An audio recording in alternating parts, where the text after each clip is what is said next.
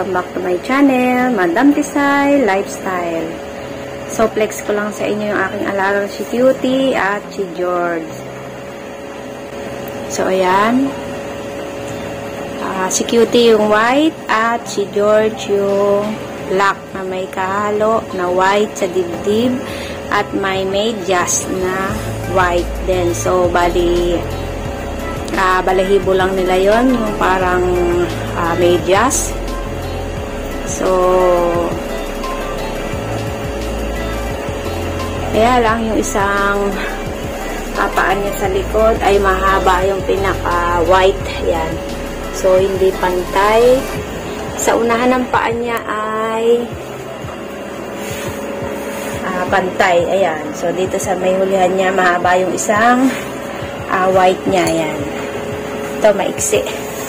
Cutie. Ay, George. Ito si Cutie. Oh. Cutie. Ito naman si George.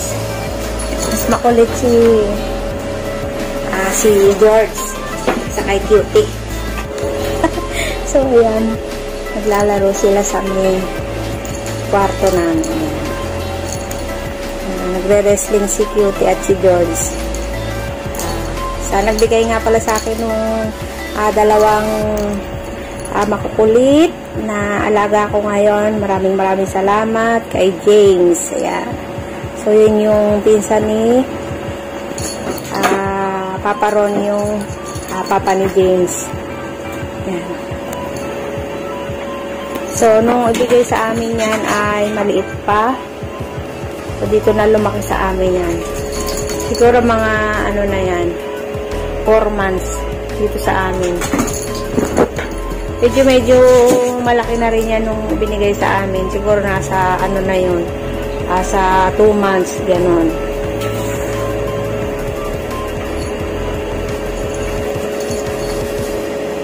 Yan, yan yung aking libangan pag medyo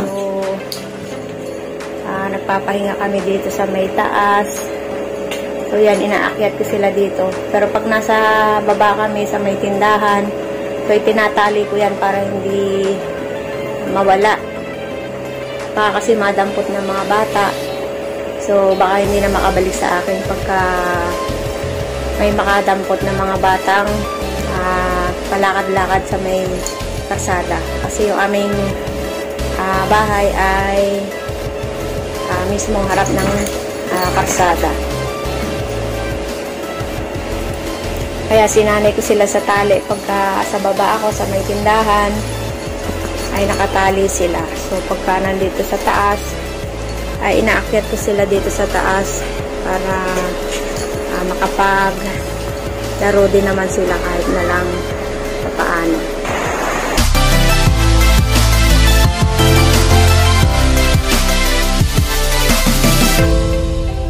George?